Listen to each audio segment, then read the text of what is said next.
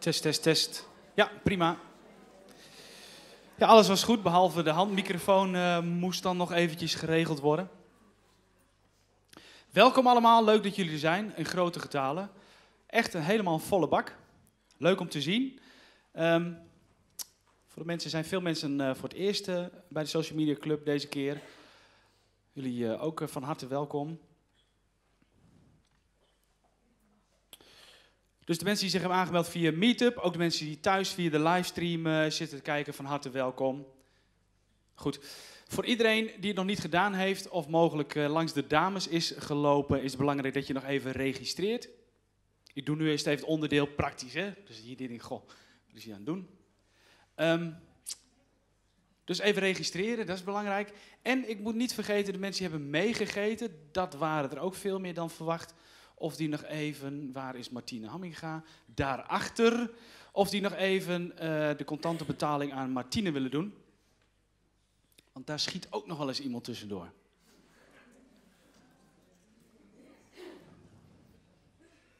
Goed. Oh, ik zie dat de foto van Martine is weggevallen. Martine, ga eens even staan. Kijk, nou dat is dus Martine. Applaus. Wij waarderen haar. En Brenda. Waar is Brenda? Ja, Brenda, ook toegetreden tot de club. Ja, we gaan niet voor iedereen hoor, nee. Echt, dat ja, mag wel. Maar dan moet je voor Margreet ook klappen. Doe maar. Nou, mijn naam is Jarno Duursma. Ik hou me... Ik vond het niet heel oorverdovend trouwens hoor. Tegenvallen. Ik hou me bezig met social media strategie voor bedrijven. Afwezig is Pieter Woudstra. Gaan we klappen voor mensen die er niet zijn. Ellen. We hebben ook sponsoren. Zij betalen de koffie en de borrel achteraf. Bureau Goede Grond. Ja, daar gaan we ook voor applaudisseren. Nee, nee, nee, ja. Dan blijven we toch bezig. Ze doen organisatie- en communicatieadvies. Misschien Dorothea, kan je even vertellen wat jullie precies doen? Precies dat organisatie en communicatie werken. We staan met de poot in de klei. Okay. En ja, we gaan niet voor alles applaudisseren hoor. De grondkleuren en methodiek uh, die doen zij over uh, uh, je eigen kenmerken naar aanleiding van test. Ik heb hem ook gedaan. Rood. Hartstikke rood was ik. En Radius, waar zitten de mensen van Radius? Oh, hier ook. Eerste rij, heel erg goed. Radius, online marketingbureau.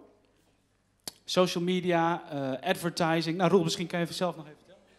Nou ja, uh, wat daar staat inderdaad, online marketing in de breedste zin des woords, uh, advertenties. we zorgen voor relevant verkeer naar je website toe. En wat is nou een van die klanten bij zegt, nou, dat, dat liep echt goed, of dat loopt goed? Allemaal, oké. Okay. Allemaal, dat was het goede antwoord. Leuk. Dus denk ook straks hè, even aan bureau Goede Grond en aan Radius als je straks je borreltje drinkt. Want zij uh, zorgen de, dat dat kan.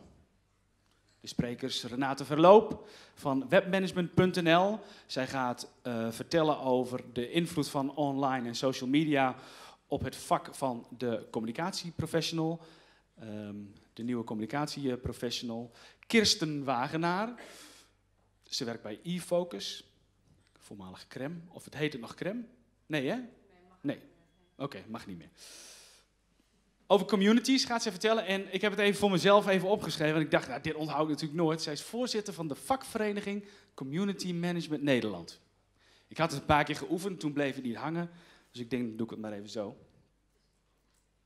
Voor de mensen die hier vaker zijn geweest, is dit wel bekend. Wij werken altijd met waardebepaling achteraf.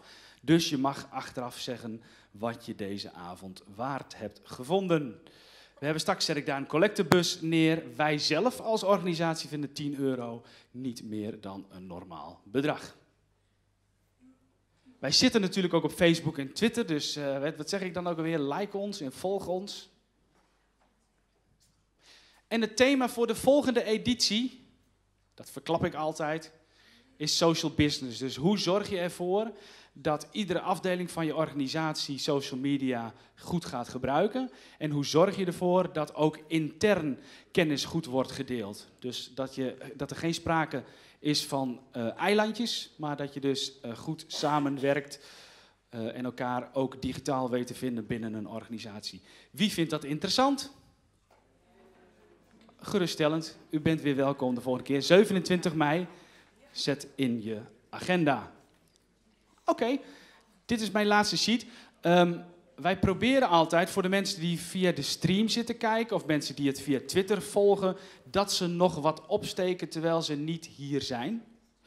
Uh, dus als je iets twittert of wat dan ook, probeer de rest van de wereld zo slim mogelijk te maken. Zijn er verder nog vragen? Goed, applaus alvast voor Renate Verloop.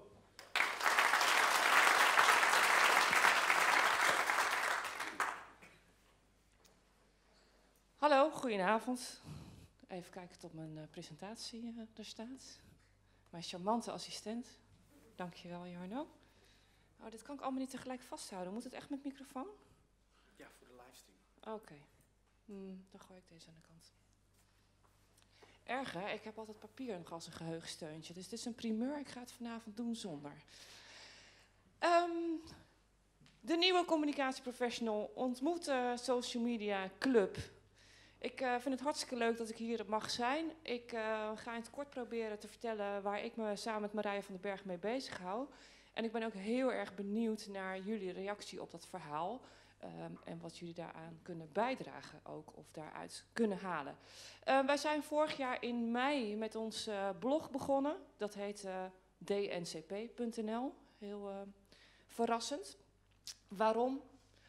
Wij maken ons ontzettend veel zorgen om de toekomst van het vak. Sterker nog, wij denken als het nog zo doorgaat dat over tien jaar niemand meer communicatieprofessional is. Wie maakt zich ook zorgen om het vak van jullie? Waarom? Um, nou, het is een vrij beroep. En um, nou, ik heb ervoor gestudeerd en velen met mij, denk ik, die hier in de zaal uh, zitten. En je merkt steeds meer dat mensen inderdaad op de hype van bijvoorbeeld social media inspreken, springen, sorry. En die een andere achtergrond hebben en opeens ook tegen mij zeggen, ik ga het communicatievak in. En dan, uh, ja, dan denk ik wel mezelf, dus slik ik wel en dan denk ik van ja, daar heb ik vier, vijf jaar voor gestudeerd. En, dan, uh, en communicatiemensen die ervoor hebben gestudeerd en geen bal van social media weten? Ja, ja toch? Ja, zo, ik kom ze elke week tegen hoor. Wie, ma wie maakt zich helemaal geen zorgen om het vak? Oh, gelukkig. Waarom niet? Nee, nou, het zijn geweldige tijden. De mogelijkheden zijn oneindig. Uh, alles kan, dus het vak wordt alleen maar uitgebreider. Er gaat niks af, maar er komt steeds meer bij. Ja, dat, uh, dat, ho dat, horen we ook vaak. Jullie moeten de kansen uh, zien. Maar wat ik zeg, hè, ik kom elke week mensen tegen die echt geen bal weten van online of social. Is er iemand die zegt, nou, dat is, dat is echt een beeld van tien jaar geleden, dat klopt niet meer. Wat zeg je? Ja, dat klopt denk ik wel. Ja, er zijn nog genoeg, genoeg mensen die uh, niet, geen verstand hebben van social of, uh, of, of uh, wat dan ook, internet niet eens. Nou, het, Marij en ik hebben elkaar gevonden. Wij zijn niet samen een bedrijf of zo. We, hebben, we werken allebei als één pitter. En wij hebben elkaar gevonden in het feit dat we ons daar zo vreselijk druk over maken. Dus uh, we zijn dat blog begonnen om daar een uitlaatklep voor te hebben. En um, uh, ook omdat we iets positiefs willen doen. Want het is heel makkelijk om tegen elkaar te blijven brullen wat er mis is. Maar het is veel interessanter om te kijken wat er nou moet gebeuren. En uh, nou, wij weten dat ook niet precies. Dus we hebben gezegd, ja, we gaan dat blog starten om daar ook met onze vakgenoten over te praten. Dus ook met jullie. Even een schets. Wat is er allemaal gebeurd in dat vak? Dit is uh, 1996. Ik had communicatie gestudeerd. Maar ja, uh, internet bestond toen nog niet. En ik wist echt de ballen van websites. En ik ging voor, de, voor het ministerie van Volksgezondheid hun allereerste website ooit maken. Mag ik één verhaal uit de oude doos? Want ik zie mezelf daar namelijk nog zitten. Op een hele grote afdeling met 50 of 60 mensen of zo. En je had toen van die kantoortuinen, dus niet het nieuwe werken, maar gewoon iedereen in één grote kantoortuin. En er stond één tafeltje in een hoekje. Uh, daar was dan het internet op. Met zo'n modem, zo'n ding, weet je wel. En als ik daar dan een kamerbrief op de website moest zetten, dan liep ik naar boven, naar de directie bestuursondersteuning. En dan haalde ik een oranje map met een print van de kamerbrief met daarachterin een diskette. En dan ging ik die op het internet zetten. En dan hopen dat de verbinding het hield. Nou, dat was 96, dat is helemaal niet zo lang uh, geleden. Nou, sindsdien is het heel hard gegaan. En vandaag de dag maak ik me druk nog steeds veel met overheidsorganisaties over uh, online en social media, wat razendsnel gaat. Iedereen kan op dit moment natuurlijk alles meteen online zetten. Uh, ik heb mijn eigen bureau. Ik help uh, inderdaad organisaties professionaliseren. Ik schrijf voor Frank Watching en ik geef ook veel training over dit onderwerp. Dat even als achtergrond. Nou, wat willen we nou doen met de nieuwe communicatieprofessional? Het is voor ons een zoektocht naar de impact van online en social media op ons vak. Op ons vak, op de afdeling en op de individuele communicatieprofessional. En er bestaat een Babylonische spraakverwarring. En ik weet niet of ik dat mag zeggen bij een social media club. Maar uh, we moeten heel snel stoppen met de discussie over de toegevoegde waarde van social media. Maar god, wat is dat toch een onzin? Nou, dan zag ik hier waarschijnlijk niks nieuws, maar ik heb nog steeds zoveel klanten die aan mij vragen: Goh, we moeten iets met social media en wat en waar moet ik dan zitten? En dan, oh, goed, je kent het wel, dan zeg ik verkeerde vraag. We moeten echt helemaal niks met social media. We moeten iets met alle ontwikkelingen die daaronder zitten. En die gelden volgens mij niet alleen voor de overheid, maar ook voor andere bedrijven. We moeten iets met actieve gebruikers, zende concurrentie. Iedereen die kan zijn verhaal nu kwijt, is voor jullie geen nieuws. Um, en daardoor ook een verschuiving van autoriteit. Dat is voor de overheid trouwens wel echt een specifiek probleem. Omdat uh, er nu ook mensen uh, zijn die vinden dat ze expert zijn. En niet meer iets geloven omdat de dokter of de minister het zegt. Um, Real-time communicatie. Nou, dat wringt en schuurt en kraakt met de klassieke hiërarchische organisatie. En ondanks ambtenaar 2.0 en organisatie 3.0 zijn nog steeds heel veel organisaties heel klassiek georganiseerd. Dus heer, heer voor het volgende thema hier, de social business. Uh, daar valt nog uh, heel wat te leren volgens mij. Um, uh, ik heb hier trouwens ook vandaag een uh, artikel over gepubliceerd op uh, Frank Watching. Ik weet niet of jullie het gezien hebben, maar de vijf echte trends in online overheidscommunicatie. Daar staan ze allemaal op een rijtje met de tips erbij hoe je daarop kunt inspelen. Een extra uitdaging is dat social, het woord zegt het al, social is. En dat betekent dat je heel erg zorgvuldig moet omgaan met het interactieniveau. Wat bedoel ik daarmee? Je moet dus kiezen als organisatie hoe zwaar je op interactie wil inzetten. Dat wil niet zeggen dat dat meteen in beton gegoten is, want het kan ook nog eens heel anders uitpakken dan je had gedacht. Nou, wat zien we dan bijvoorbeeld? Um, ja, voor overheid, er wordt, door de social media puristen wordt gezegd, je mag niet zenden via social media. Nou, ben ik het niet helemaal mee eens. Want als overheid heb je soms heel veel te zenden. En dan roep ik altijd, doe nou eens goed.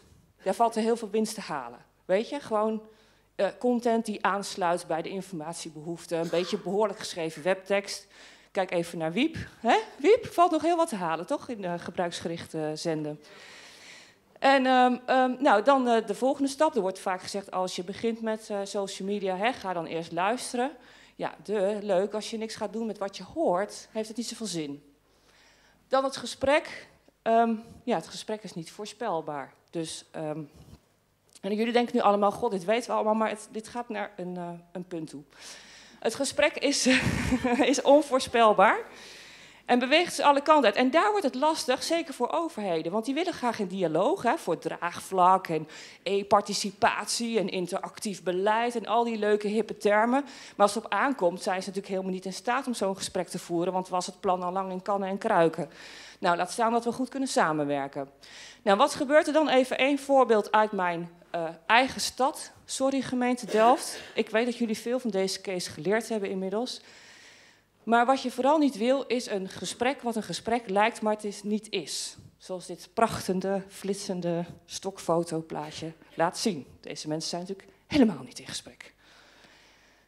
De gemeente Delft begon in 2011 met een online discussie over het parkeerbeleid. Nou is parkeren natuurlijk altijd een hot issue in een stad, dus ook in Delft. En ik dacht, wat leuk, een online dialoog. Dan kan ik met ambtenaren praten over tegen wat voor dingen zij nou aanlopen. En kan ik eens de mensen leren kennen die daarachter zitten. Nou, niets was minder waar. Ik kreeg een, eh, een, eh, een veldje en dan mocht ik iets kwijt. En dan mocht ik zeggen of dat een vraag, een opmerking of een klacht was. Dus met dialoog had het niet heel veel te maken. Nou, die dialoog die liep drie weken. Er kwamen zo waren ook nog reacties op. Ik had ook meegedaan. Ik had toch maar mijn opmerking erin gezet. Nog heel leuk een uh, tegoedkaartje voor een parkeergarage voor gekregen. Heel fijn. En drie weken later staat dit in het lokale suffertje, wat ik ook nog steeds heel goed lees. Namelijk de parkeertarieven gingen met, weet ik veel, 17% omhoog of zo. Nou, dan kun je dus de uitkomsten van die online parkeerdialoog wel in de prullenbak gooien. Want die was heel anders verlopen als mensen dit van tevoren hadden geweten. Het wordt nog veel erger hoor. Het, ging, uh, het bleef een tijdje stil. En toen was er een nieuw parkeerbeleid. En dat ging ervan uit dat in de binnenstad, um, als je een parkeervergunning had, je nog steeds niet zeker was van je plek. Want toeristen konden daar ook parkeren. Wel voor een hoog tarief, dat wel. Nou, dit uh, uh, was het gevolg, een massaal verzet. En serieus, in de binnenstad hing raam aan raam een poster met flitsparkeren nee. Dus van de goede bedoeling, een online dialoog, naar complete oorlog met de stad. Zo moeilijk is het. Echt. Wat betekent dat nou? Dat we dus niet meer van een, een lineair communicatieplan kunnen opstellen. Ja, ik kom ze nog steeds tegen hoor. Echt serieus met doelstelling en de middelenmatrix en dan keurig welke doelgroep met welk middel bereikt moet worden. Wie ziet ze ook nog in praktijk? Toch nog een paar mensen, helaas. Ja. Nou, wat nog meer interdisciplinaire samenwerking, zoals dat voorbeeld van de gemeente. Ja, je moet als beleid en communicatie natuurlijk wel verschrikkelijk goed samenwerken om dingen heel erg goed te timen met elkaar. Realtime communicatie, ja, het kan zijn dat men anders reageert dan je had verwacht. Daar moet je iets mee. En tenslotte, ja, die open houding en cultuur. Wil je eigenlijk wel in gesprek? Zo niet, doe het dan ook niet. Kortom, de bestaande modellen kunnen in de prullenbak. Al die modellen die wij geleerd hebben, hè, zenderboodschap ontvanger, bestaat al sinds 1949. Zie je nog steeds voorbij komen, kennishouding, gedrag. Het werkt allemaal niet meer. En nota bene, onze hoogleraar die met pensioen is, die riep het communicatieplan moet de prullenbak in. En toen werd iedereen pas wakker, volgens mij. Maar goed, de vraag is, wat dan? Wie werkte al met iets anders dan een communicatieplan? Ha hallo? Werk jij met iets anders dan een communicatieplan? Dan kom ik aan jou vragen. Wat gebruik jij? Uh, nou, ik gebruik sowieso uh, een drie maanden plan. Ik kijk wat wil ik binnen drie maanden bereiken. En na drie maanden kijk ik, klopt dat? Wil ik die doelstelling weer over drie maanden stellen of heb ik hem behaald? En verder kijk ik niet naar de middelen, maar naar de touchpoints, naar de contactmomenten. Um, kent iemand iWink uh, of kent iemand iWink niet? Of kent, is het een potentiële iWinker, een potentiële personeelslid? Um, uh, kent hij ons of niet? En daarop op die touchpoints, dat kan zijn onze iWing-tas of onze website, pas ik onze communicatie op aan. Oké, dus van middelen naar touchpoints. Goed idee. Maar ja, weet je, het is best lastig en het wordt ons ook veel gevraagd. Dat is allemaal leuk dat je roept dat het communicatieplan de deur uit moet, maar wat dan? Um, nou ja, dat weet ik ook nog niet helemaal precies. Maar tot onze grote verrassing, en dat is het leuke van de nieuwe communicatieprofessional, waardoor wij ook weer met allerlei mensen in contact komen, hadden wij een gesprek met Betteke van Roelen. Die vertelde dat ze met een nieuw communicatiemodel uh, kwam. En eerlijk gezegd dachten wij, oh, zij gaat nu iets zeggen over storytelling, want dat is natuurlijk uh, hipper de pip uh, op dit moment. Maar tot onze grote verrassing kwam zij hiermee. Dit hebben we afgelopen vrijdag op ons blog mogen zetten. Er is al een flinke discussie over losgebarsten, dus iedereen die daar aan mee wil doen, wees van harte welkom. Namelijk, Betteke heeft het briljante plan bedacht om de Scrum-methodiek uit internetprojectmanagement op communicatie te leggen. Nou, die hadden we even niet aanzien komen. Zij, vertelde, ze heeft alle boeken gelezen over uh, organisatieveranderingen en verandermanagement en communicatietheorieën en ga zo maar door. Heerlijk, want ze is met pensioen, hè? ze heeft alle tijd nu. En wat zij nu eigenlijk vraagt aan de community, dus ook aan jullie, is: willen jullie dit gaan toetsen in de praktijk? Want ik, heb zelf, ik zit zelf te weinig in de praktijk om dat te kunnen doen. Volgens mij is dit een richting waarin we kunnen uh, ontwikkelen. Maar help me dat uh, verder te ontdekken.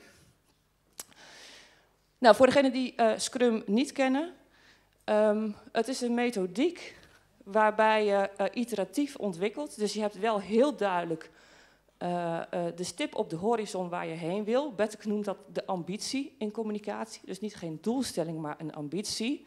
En wat zij zegt, weet je, je kan met communicatie nooit voorspellen wat precies het effect is.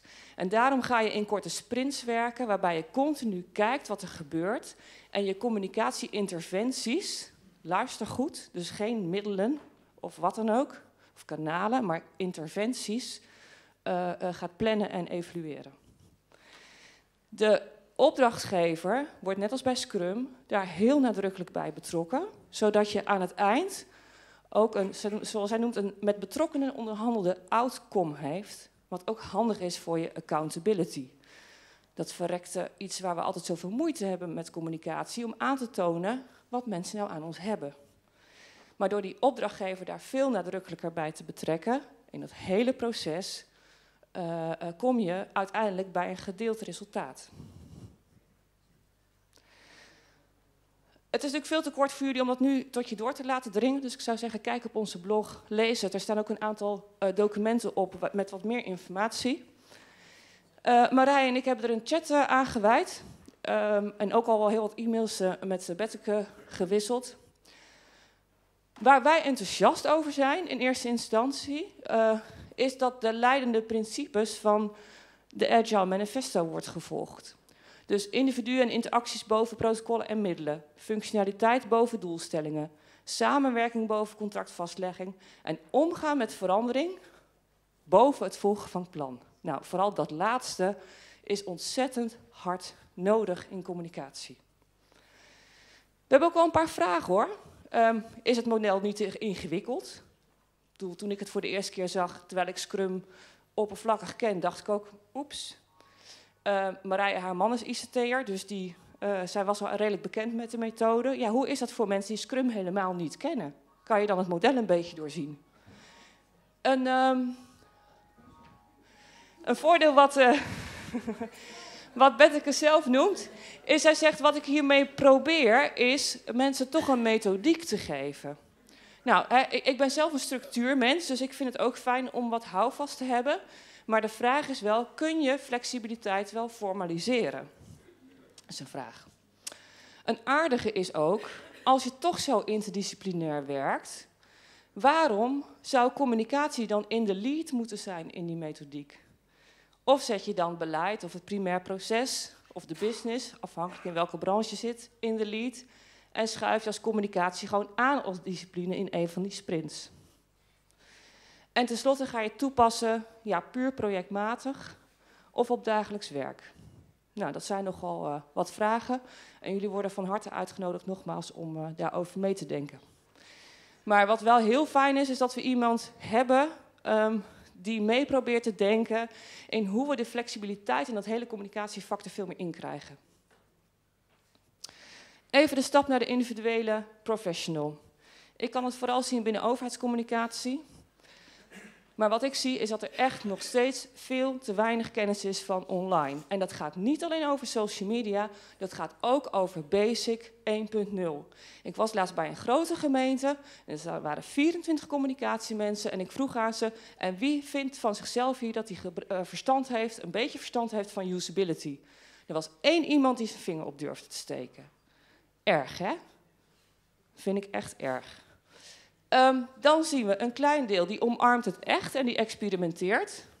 Een groot deel is nog steeds afwachtend, maar er is wel een grote ja, honger naar kennis en best practices. Dus ook de mensen die afwachten zijn wel heel geïnteresseerd in wat er speelt. Top 5 drempels niet wetenschappelijk onderzocht. Is puur mijn eigen uh, ervaring. Mensen zeggen bijvoorbeeld, ja, ik heb geen tijd hoor. Of geen tijd om de tools te leren kennen. Of ik zit de hele dag al achter de computer en dan moet ik s'avonds ook nog. Uh, daarbij hoort de angst voor informatieoverload. Ik krijg al zoveel e-mail. Nou, die zijn vast allemaal uh, bekend. Ehm, die is wel relevant. Bang dat privé en zakelijk door elkaar heen gaan lopen. Ja, wat als ik nou ga twitteren over mijn werk op mijn privé-account en... Uh, een hele flauwe, ja, mijn werkgever ondersteunt het niet. Komt binnen de overheid echt nog wel eens voor. Ik krijg geen smartphone van de baas. Um, en deze, de laatste is wel echt erg. Dat er nog steeds communicatieprofessionals zijn die durven zeggen... ja, ik zie echt de toegevoegde waarde nog niet. Tja. Nou, die zitten hier niet in de zaal, want anders zaten jullie niet bij de social media club. Ja, wat moet je dan als professional? En het lastigste is het eigenlijk voor de mensen die daar wel een stap in willen maken, maar niet weten waar ze moeten beginnen. Ja, dat snap ik ook wel. Want je kunt wel zeggen, uh, online is een specialisme, wat sommige mensen nog steeds zeggen. Maar welk specialisme is dat dan? Moet je kijken wat we allemaal ondertussen doen. Dit zijn allemaal specialismes op zich. Dus mijn advies is: zorg dat je basiskennis op orde is, maar kies daarnaast een specialisme. Ik heb er tot nu toe drie bedacht, maar mocht je daar anders over denken, um, roep het ook vanavond nog tegen me of uh, op het blog. Um, ik zie er drie. Volgens mij is er een schreeuwend behoefte aan communicatieprofessionals die verstand hebben van klantcontact. En bij de gemeentes heb je de klantcontactcenters. En ik zie uh, eh, KCC, zoals ze heten, die nauwelijks contact, contact hebben met een afdeling communicatie. Hoe is het mogelijk? Wat van mij betreft mag een deel van de afdeling communicatie gewoon verhuizen naar klantcontact, inclusief de woordvoerders. Want persvoorlichting is natuurlijk gewoon alleen een bijzondere vorm van klantcontact. Laten we wel wezen. Um, wat voor mensen zitten daar dan? Die hebben heel veel verstand van web analytics, van uh, usability. En dat zijn mensen die hebben zin om het proces erachter aan te pakken. Die hebben zin om een systeem in te duiken en een, en een proces te veranderen. Dat vraagt dus een andere mentaliteit. Ja, ik ga er toch even een voorbeeld bij noemen. Ja, kijk even naar de tijd, want Jarno heeft me uitgebreid gewaarschuwd dat ik maar 40 minuten had. Um, ik zit bij een gemeente en uh, daar wordt een plan gemaakt om te communiceren over het feit dat uh, de openingstijden van de balie uh, worden, hoe zeg je dat, teruggebracht. Ja. Vanwege de bezuiniging hè, moet je dan een digitale afspraak maken. Nou, oh, prima. Dus die communicatieadviseur die gaat een mooi communicatieplan maken. En dan vraag ik, ja, heb je al getest hoe makkelijk het is om een afspraak te maken via de website? Nee, dat is niet mijn werk. Nee, ja, hoezo is dat niet jouw werk? Dus je moet eerst even kijken of dat proces een beetje hufteproof is. En pas als dat goed werkt, dan kan je gaan vertellen aan mensen dat het fijn is om digitaal een afspraak te maken. Ja, en dit is allemaal echt geen tien jaar geleden hoor, wat ik nu uh, vertel. Uh, tweede stelling. Um, ik vind dat er veel te weinig marketing gedacht wordt binnen communicatie. Eh, oh, oeh, hier raak ik een puntje. Oh, wil, nou, nou, toelichting. Wie wil dit toelichten? Ja. Met hart en ziel. Nou, come on. Nou, ik denk dat je begon met, ik, ik moet iets met social media. Ja. Die komt van mensen die niks met marketing doen. Ja. Omdat ze niet snappen dat alles wat je doet vanuit een strategie gebeurt. Ja. Anders is je bestaansrecht weg. Okay. Dat is het eigenlijk. En communicatie en marketing samen? Ja, ik denk wel, als het indien goed uitgevoerd. indien goed uitgevoerd. Dat was een dikke vette disclaimer, zeg jij. Oké. nou, weet je, ik, ik vertaal hem misschien ook wel een beetje simpel, maar ik vraag heel vaak aan mensen: Goh, en uh, uh, die nieuwsbrief, hè, analyseren jullie wat uh, de conversie is of zo? Hè? Volgens mij hebben we het daar ook vorige keer over gehad op de Social Media Club. Nou, het wordt echt schrikbarend weinig gedaan.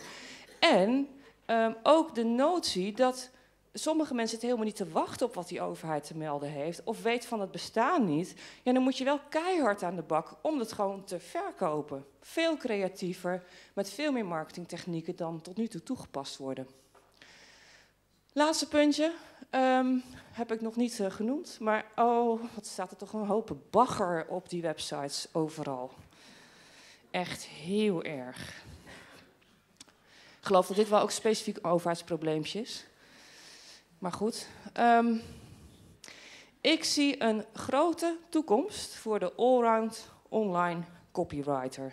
Want Mensen die een beetje behoorlijk voor web kunnen schrijven, die zijn al met een lampje te vinden.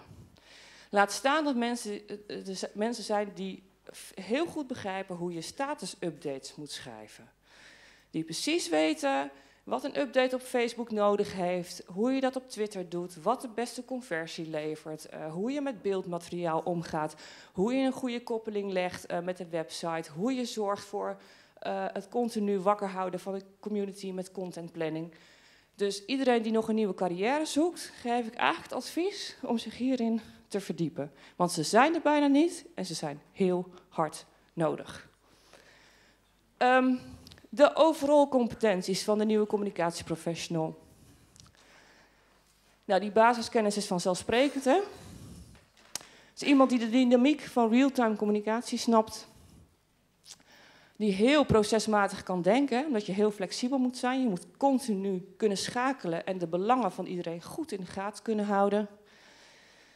Iemand die goed tussen strategie en uitvoering schakelt. Want in mijn ogen is een van de grootste redenen van het failliet van dit vak de waterscheiding tussen strategie en uitvoering.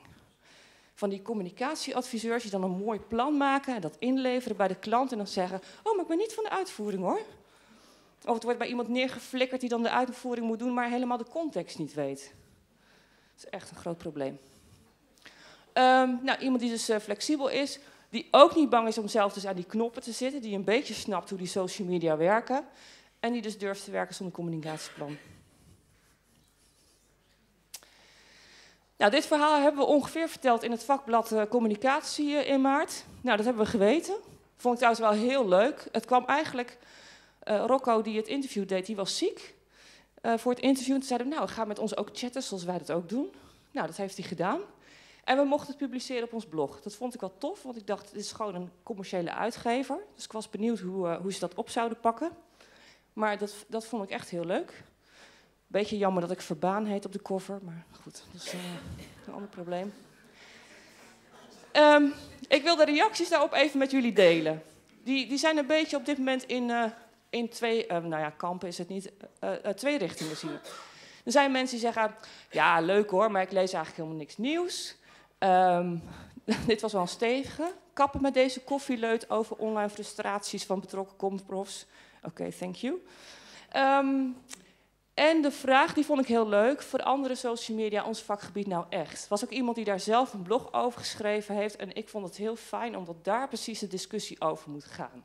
Dus ik ben heel blij uh, om met die mensen nu in contact te zijn.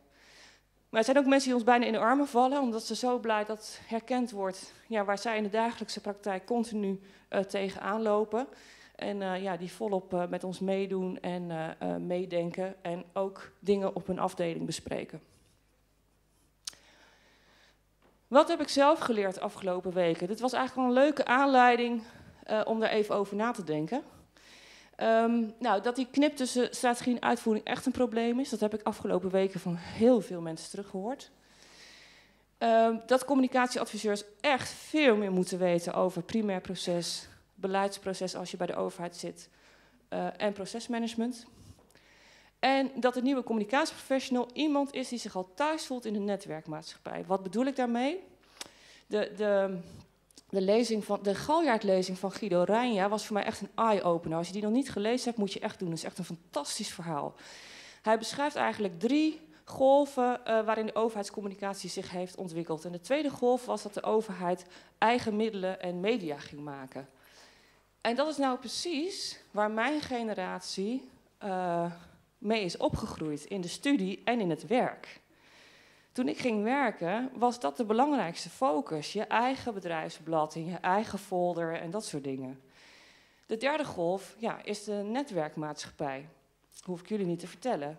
Alleen, dat vraagt dus een heel ander type mens. Het gaat niet om een vaardigheid. Je kunt niet de mensen uit de tweede golf gewoon op cursus sturen. En zeggen, nou, nu ben jij communicatieprofessional in de netwerkmaatschappij. Daar moet je ook een type voor zijn. Daar ben ik steeds meer van overtuigd. Dus ik verwacht... Ik mag geen vraag stellen daarover. Ja. Hoe ga je dan om bijvoorbeeld met, je, met een organisatie waarin je zeg maar, uh, uh, mensen van de tweede golf, zoals je dat noemt, ja. hoe, moet je deze mensen dan loslaten, zeggen die nemen niet mee? Oh, je, oh, een cursus sturen is een mooi begin. Ja. En dan? Mijn overtuiging is dat, dat misschien wel driekwart van de mensen gaat afvallen de komende jaren. Die gewoon niet mee kunnen. Oké. Ja, ik denk dat dat zo. Ja, en ik weet dat dat heel lastig is, omdat ook heel veel organisaties ook door bezuinigingen het gewoon moeten doen met het personeel wat er zit. Ja. Eh, maar dat gaan ook mensen worden die heel ongelukkig gaan worden in hun werk. Dus ook zelf eens na moeten denken over wat ze willen. Ehm, nou, we gaan lekker door. Eh, wat, wat, waar ik onwijs blij mee ben, wat voor mij echt de opbrengst is van eh, de afgelopen tijd DNCP, is dat we mensen hebben leren kennen die al die dingen die we zeggen al in praktijk brengen. En die mensen die staan eigenlijk helemaal niet zo onwijs in het zonnetje. Nou, dat willen we gaan doen. Dus komende periode gaan we mensen interviewen die al werken zonder communicatieplan. Die in een externe communicatie al heel goed aan elkaar verbinden. Um, die willen we interviewen om uh, te horen hoe ze dat doen, ter inspiratie van onszelf en ook voor onze vakgenoten. Ja, en ondertussen, Marij en ik zijn onwijze kwebbelkousen, dus we uh, kletsen wel door op DNSP. Ik heb nog even, Jarno, nog tien minuutjes toch? Vijf. Niet waar. Ik heb net meegenomen. Oké, okay, goed. um, De vraag eigenlijk uh, die ik aan jullie heb, want ik ga er toch een beetje vanuit dat hier de voorlopers in de zaal zitten. Waar lopen jullie nou tegenaan als het gaat om uh, de scheiding tussen nieuw en oud communicatie denken? En wat ik eigenlijk graag wil, is dat je even met je buurman of buurvrouw daarover heel even over hebt en formuleert. En toen merkte ik dat ik er echt heel anders over dacht. Is dat een goede vraag? Probeer het even. Praat even met je buurman of je buurvrouw.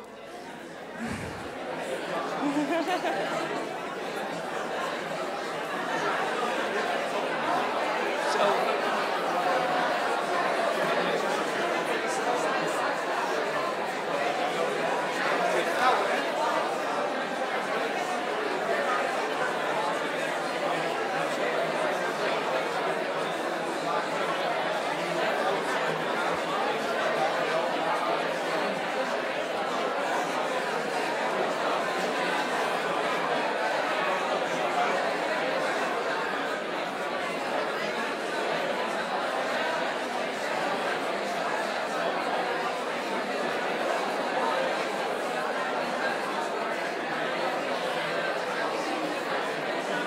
Oké, kom ik er nog bovenuit, denken jullie?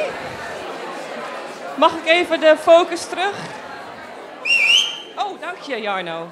Oeh, dat was heel effectief. Jeetje, wat kunnen jullie veel lawaai maken, zeg.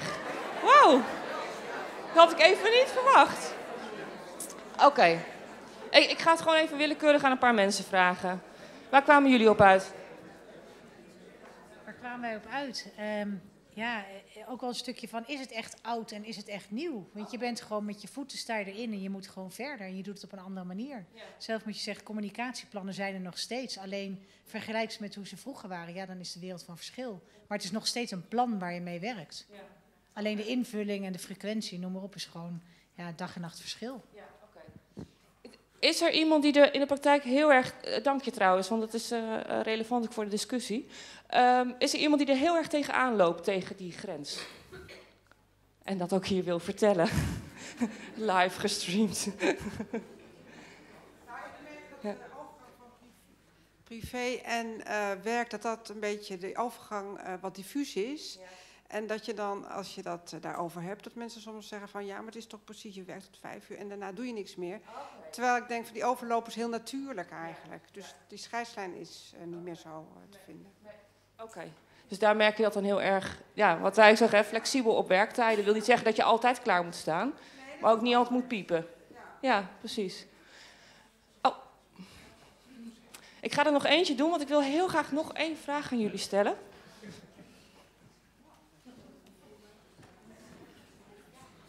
Ja, ik merk wel dat, uh, dat die nieuwe manier van werken heel goed uh, inpasbaar is. Ik ben nu ook uh, bezig met het Scrum-model om dat in te passen in, alle facetten van het project.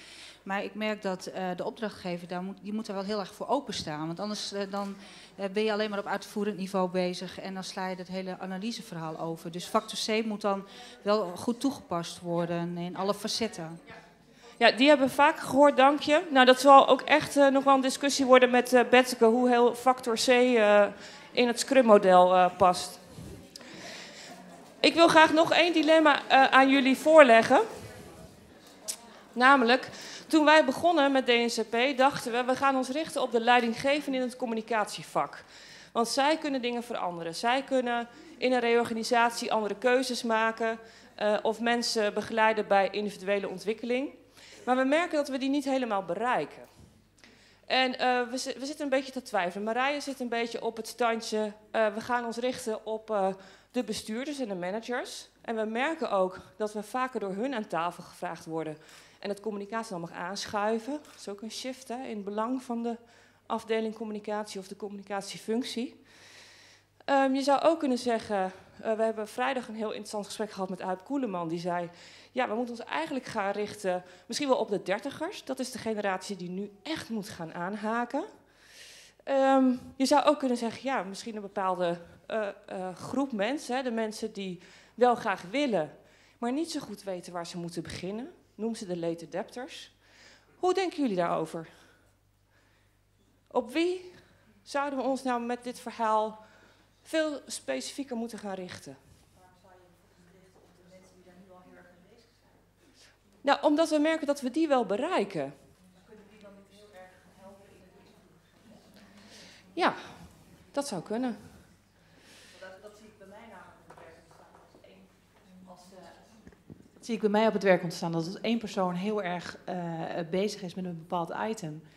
dat hij daarmee de andere collega's meeneemt in het hele denkproces en daarmee ook het leidinggevende uh, kader meeneemt. Dus jij zegt gewoon um, uh, blijven doen wat jullie nu doen, de, de voorlopers haken aan en die gaan de omgeving gewoon meenemen. Mensen die er anders over denken? Of nog andere ideeën daarover hebben?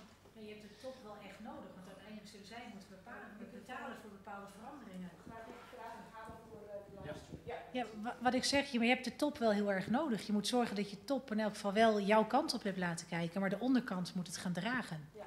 Maar als zij niet een voorstander zijn, dan uh, is het een heel mooi plan, maar krijg je het niet voor elkaar, krijg je het niet gedaan. De vraag is natuurlijk hè, of we een plan voor de bühne brengen of veel meer een cultuur of een werkwijze of een energie uh, uh, die je erin wil brengen.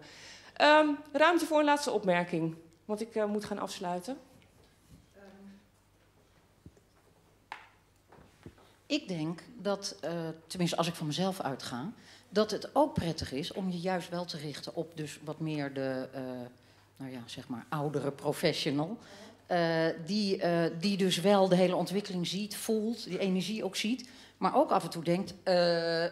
dat. Ja. En die, die hoe zeg je dat, die openheid is er wel. Tenminste, dat, dat denk ik als ik ook bij collega's van mezelf zie. Alleen er is zoveel en uh, je hebt zo weinig uur. Als je, ik werk in een kleine organisatie. Uh, weet je, dus ik, ja, ik denk, ik zou me ook zeker richten op, uh, op juist, nou, noem het de late adaptor of noem het degene die het wel adopteert, maar daarin ook nog wegen zoekt. Ja, dat is ook wel een, een lijn waar ik op dit moment op zit. Waar we ons in ieder geval niet meer op gaan richten, zijn mensen die anno 2013 nog moeten leren hoe Twitter werkt. Uh, uh, met die uh, mensen heb ik het een beetje opgegeven, moet ik heel eerlijk zeggen. Um, dank voor jullie aandacht. We discussiëren vrolijk verder op dncp.nl, dus wees welkom daarbij, daar. we twitteren ook met de hashtag DNCP, dus wil je daar iets over kwijt, ook naar aanleiding van vanavond, wees welkom. Dank je. Dankjewel, Renata. Is er iemand die nog een dringende vraag zit voor Renata? Het kan nu nog. Eenmaal allemaal gesloten. Ja, ik ben er ook alweer heel snel, hè? Goed, um, ik start het even op. Eén moment.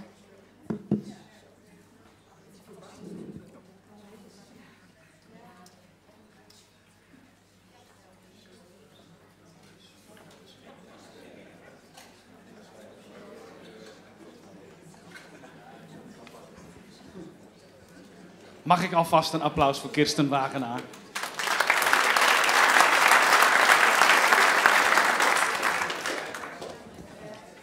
Goedenavond. Van het ene verhaal naar het andere verhaal. Um, ik heb zelf geen achtergrond in communicatie. Ja, dat dacht ik al. Ik denk, ik ga maar meteen bekennen. Dan eh, is dat voorbij.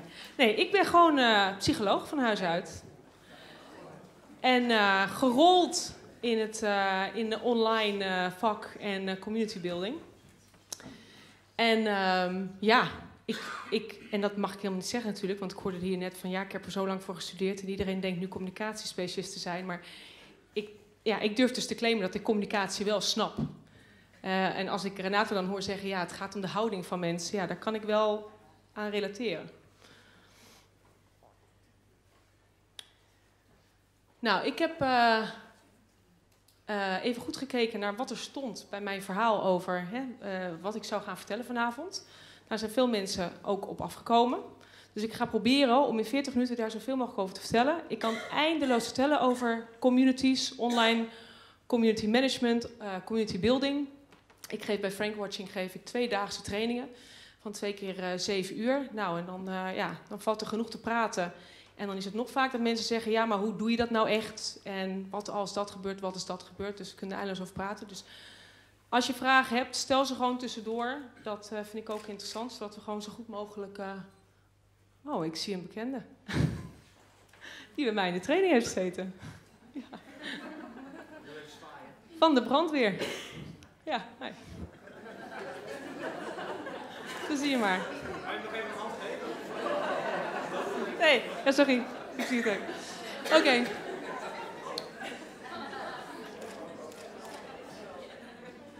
Wat is een community? Eh, daar ga ik meteen beginnen. Wanneer kun je het een online community noemen? Ik ken zoveel mensen die het hebben over... wij hebben een online community of we gaan starten met een online community. Is er iemand hier in de zaal die zegt... ik weet precies, en eh, jij mag niet reageren... ik weet precies wat een online community is. Platform waar gelijkgestemden elkaar vinden en communiceren en kennis delen. Is iedereen het daarmee eens? Een platform waar gelijkstemden elkaar vinden en kennis delen. Is er iemand van jullie die het ooit heeft over communities en dit daar niet gebeurt?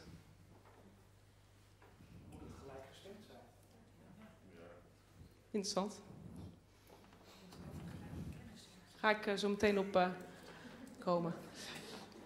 In principe zijn communities niks nieuws. Mensen zijn hele sociale dieren. Wij kunnen eigenlijk niet alleen eh, zijn voor te lange tijd. Dat is echt heel slecht voor ons. Als je ook kijkt in de middeleeuwen, of je werd ter dood veroordeeld, of je werd verbannen uit de stad. Nou, dat is ongeveer het ergste. Dus wij zijn gewoon, we zullen elkaar altijd opzoeken. Ehm, en wat ik ook vaak hoor in trainingen, en vooral communicatieprofessionals zeggen dat... Ja, je hebt wel heel veel eye-openers gegeven, Kirsten, maar het waren ook wel heel veel open deuren.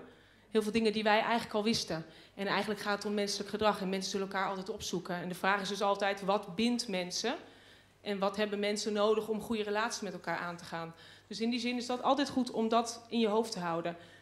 Het is een banaliteit, maar heel veel mensen begrijpen dit dus niet meer binnen organisaties. Gewoon wat mensen nodig hebben, wat mensen drijft. Dit is de definitie die ik aanhoud als het gaat om online communities. Dus een netwerk van mensen met meerdere gemeenschappelijke kenmerken, die regelmatig, en daarmee, bedoel ik één keer per maand, zeker, online en offline, bij elkaar komen om te praten, ervaringen te delen en of dingen te doen. Dit is een community. Jullie hebben veel gemeenschappelijke kenmerken. Jullie hebben een locatie gemeen. Jullie hebben een passie voor je vak gemeen. Jullie, hebben, ehm, jullie komen regelmatig bij elkaar. Jullie twitteren met elkaar onder de hashtag SMC050. Jullie komen bij elkaar hier regelmatig.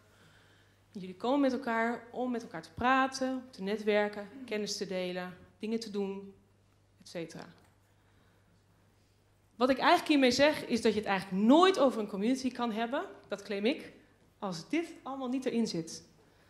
Dus zodra je vanuit je werk denkt, wij gaan, of je hoort iemand zeggen, we gaan met een community aan de slag, dat kan, ze- dat kan zijn een Facebookpagina, een Twitter-account, een blog. Dan kan je in je achterhoofd houden, oké, wat heb ik bij Social Media Club Groningen? Hoe voelt dat? Als, als je denkt van dat is niet hetzelfde, dan heb je niet over een community. Want een online community wordt gemaakt van mensen. Ik zie dat heel lelijk daar. Dat, Oké. Ehm, heel vaak krijg ik te horen, ja, maar uh, we hebben mensen op Twitter, we hebben mensen op Facebook en we hebben een eigen community platform en we hebben nog een website en we hebben een nieuwsbrief waar mensen op zijn geabonneerd. Wat is dan precies de community? De community zijn gewoon de mensen. Maakt dus helemaal niet uit waar ze zijn, of dat nou op welk platform dat ook is. Het gaat om de mensen. En daar kom ik op terug. Het belangrijkste van een community is dat als de mensen de community maken, maakt het platform dus niet uit. Dus als zometeen na drie jaar Facebook toch uit de lucht gaat, heeft niemand daar in principe last van.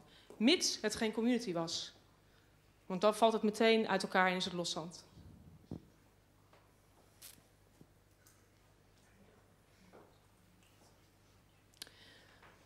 En wat voor elementen moeten er dan in zo'n community zitten? Er is altijd content, user-generated. Dus er wordt altijd gediscussieerd. Als je het hebt over, ik ben lid van een community op LinkedIn. Ik heb me op LinkedIn aangemeld bij een groep en dat we zijn een community. Wordt er gediscussieerd? Worden er vragen gesteld? Antwoord je zelf? Of is het vrij stil? Gebeurt er niks? Ga je er nooit naartoe? Als dat zo is, dan is er iets mis. Dan heb je het niet over een community. Er zijn bijeenkomsten. Mensen komen gewoon bij elkaar. Dus dat is dit soort dingen. Mensen zullen altijd, als ze het gevoel van community, van community hebben, zullen ze altijd elkaar opzoeken. Dat kan in hele kleine groepjes zijn, van vier, vijf. Dat kan in grote groepen zijn, zoals jullie vanavond bij elkaar zitten. Maar mensen zullen elkaar altijd opzoeken. Want dat is mensen eigen. Mensen willen altijd uiteindelijk toch zien, wie zijn die mensen waarmee ik communiceer online. Zijn dat wel echt die mensen wat geschreven is in een profiel? Mensen zijn nieuwsgierig. Mensen willen toch even voelen, ruiken, een indruk hebben van mensen. Dat is typisch. Als je uitgaat van communicatie, is dat wat ik jullie vertel, geloof dat 6% blijft hangen. En de rest vervliegt allemaal. Het is allemaal body language. Verder een hele belangrijke, dus die interactie. Dus niet alleen worden vragen gesteld, maar wordt er ook antwoord gegeven. Gaan mensen echt met elkaar iets aan? Is er een discussie gaande? Ik heb net bij Renate kwam ook heel vaak naar boven conversation management. Het is een term die heel vaak gebruikt wordt, maar heel veel mensen zeggen van ja, maar wat is dat dan? Conversation management. Hoe krijg ik het voor elkaar dat mensen met elkaar in gesprek gaan? In een community is het het meest noodzakelijk, essentieel dat dat er gewoon is. De meeste communities worden gemaakt rondom een interesse. Dus ik ben Ford, ik heb een doelgroep die rijden allemaal in een Ford, dus ze zijn geïnteresseerd in Ford, dus ik maak een community rondom een auto is vaak niet genoeg. Het is heel lastig om rondom een interesse een community te bouwen. Je kan ook een community bouwen rondom een actie. Dus wij gaan met z'n allen gaan we iets doen. Dat kan bijvoorbeeld uh, War Child zijn of uh, zo'n zo type project. Rondom een plaats, Groningen. Rondom uitvoering, die heet de Community of Practice. Nou ja, waar ik dus zeg maar uh, voorzitter van ben, is de ik ben de community manager van community managers. Dat is enorm meta-meta. Maar wat wij dus wel doen, is gewoon professionaliseren van het vak. Dus wij zijn met z'n allen bezig om die kennis te verzamelen en het daarover te hebben. Dat is community of practice.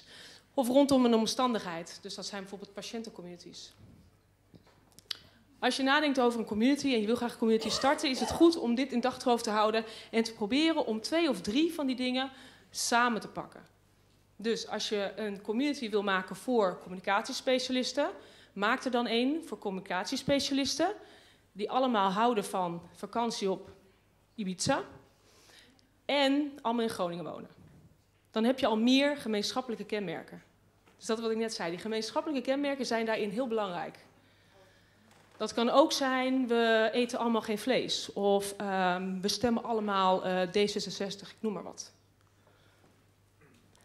Dat betekent wel dat je je doelgroep dus heel goed moet kennen. En mijn ervaring is, als ik als eerste vraag, oké, jullie willen een community starten, oké, nou, we gaan aan de slag. Wie is jullie doelgroep? En dan krijg ik meestal hele veel papieren met allerlei bullets. Uh, en daarom werk ik het liefst met persona's. Dan hebben jullie een idee van wie, die doel, wie, wie, wie zijn die mensen? Wie zijn die, die mannen en die vrouwen? En wat doen ze? En hebben ze gezinnen? En wat doen ze in hun vrije tijd? Je zit heel erg mee te knikken, daar ben ik heel blij mee.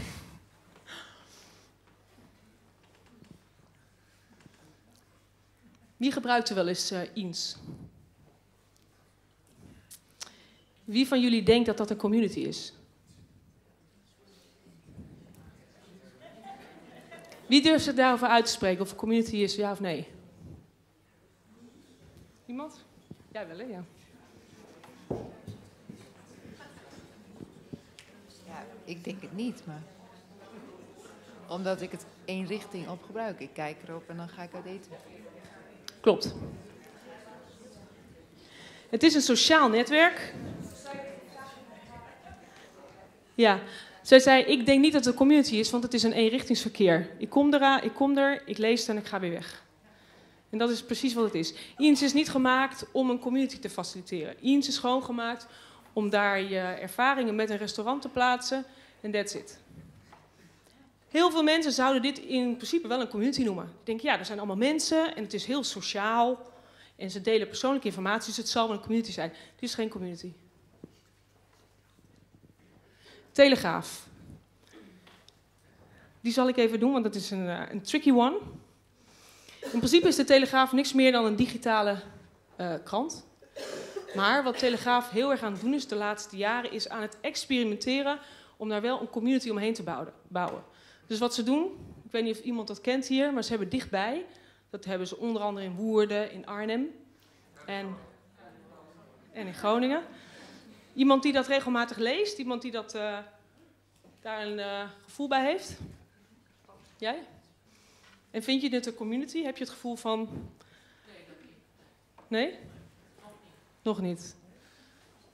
Wat ik heel grappig vind is dat uh, ik ken de jongen die het in Woerden doet. Die zit dan in een café, letterlijk, met zijn laptop. En die is daar constant heel erg bezig om Woerdenaren, ik weet niet of ze Woerdenaren heten, maar uh, te betrekken bij Woerden. Dus het is allemaal heel lokaal nieuws. En op maandagochtend, dan is er een kwartiertje, krijg ik zo'n gek kiekje van ergens in Woerden. Dat er ergens een fiets in de sloot ligt of zo. En dan vraagt hij, waar is het in Woerden? En dan gaat iedereen reageren en op elkaar. En dan wordt het heel druk, echt een enorme piek in traffic.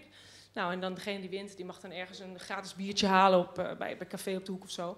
Maar dat is wel de manier waarop je mensen heel erg betrekt bij het nieuws. Dus daar zijn ze mee aan het experimenteren. Wat ze ook doen bij de Telegraaf is bijvoorbeeld een hele sectie maken gewoon van Telegraaf Vrouw. Wat al veel interactiever is, waar je kan reageren. Waar ze ook proberen die doelgroep naar zich toe te trekken. Nou ja, Vara's Kassa, natuurlijk een hele actieve community. Al jaren, een van de ja, eerste van Nederland. Um, en dat kenmerkt zich ook omdat mensen vaak bij elkaar komen daar en meedenken over het programma. Oké, als je gaat beginnen met het bouwen van een community, is het een van de belangrijkste dingen is het community concept. Want wat ik heel vaak hoor is, wij hebben een community, we hebben 300 leden, maar we krijgen het niet geactiveerd. We hebben echt geen idee hoe we ervoor kunnen zorgen dat mensen gaan komen en dat mensen ga, gaan reageren. En dat ze iets gaan plaatsen. Iemand uh, dat probleem? Van we hebben een community, maar er gebeurt niks. Een Facebookpagina waar te weinig gebeurt. Een Twitter-account waar te weinig volgers zijn, waar niemand reageert. Een blog waar de CEO blogt, maar waar eigenlijk ook niemand ooit leest of op reageert. Waardoor de CEO na een paar keer gewoon denkt, nou ja, ik hou maar op met bloggen. Hè? Iedereen stil, ja. Nou, dan krijg ik al een soort van ideeën. Ja, iedereen begint ook de mond.